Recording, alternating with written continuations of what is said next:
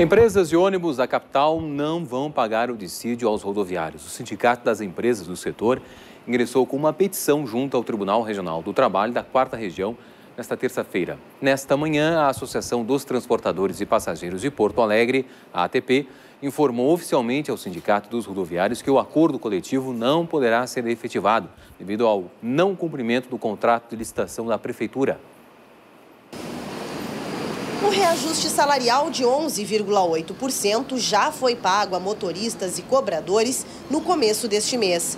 Mas, com a manutenção da tarifa em R$ 3,25, os proprietários das empresas de ônibus alegam perdas de mais de 3 milhões de reais e dizem que não vão poder manter o aumento no salário dos funcionários.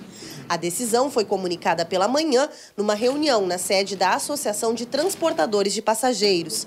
Já os rodoviários dizem que os salários não estão condicionados ao preço das passagens. Não tem nenhum item dentro do dissídio que diz se reduzir tarifa, reduz salário. Não existe. A briga é entre a patronal e a prefeitura. Quem tem que desenrolar esse embaraço feito é a própria prefeitura. Por quê? Porque tem uma lei que diz tem que chamar o contur para aprovar a tarifa e não foi chamado.